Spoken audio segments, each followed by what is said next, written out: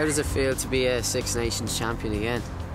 Yeah, it's a fantastic feeling. I think, you know, obviously it hasn't been done back to back in, I think, maybe close to 60 years. So, yeah, awesome feeling, you know, privileged to be a part of such a great team to, you know, be able to win the trophy twice in, in, in two years. And the win was based on the England France result, which was a very tense game. So, what was it like watching that match with the rest of the team? Yeah, it was awful. We were in a big room over in Murrayfield, and there was a couple of hundred people in the room, and you know, I've never cared so much about a game that I wasn't playing in that, that obviously wasn't one of my teams.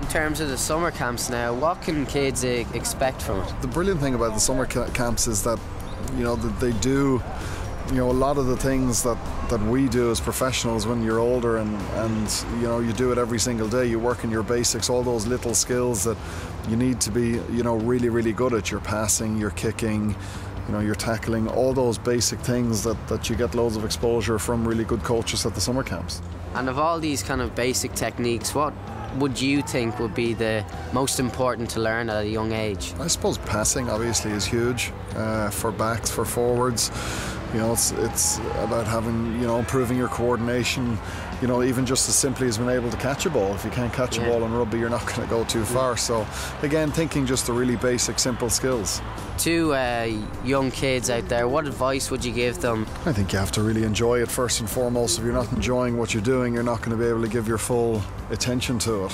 Uh, you know train really really hard. And you know when, when people aren't watching you you know that's the time to be really diligent and you know to really put lots of effort into into the game that you want to play. Thanks very much. Cheers mate. Cheers. Thanks Rob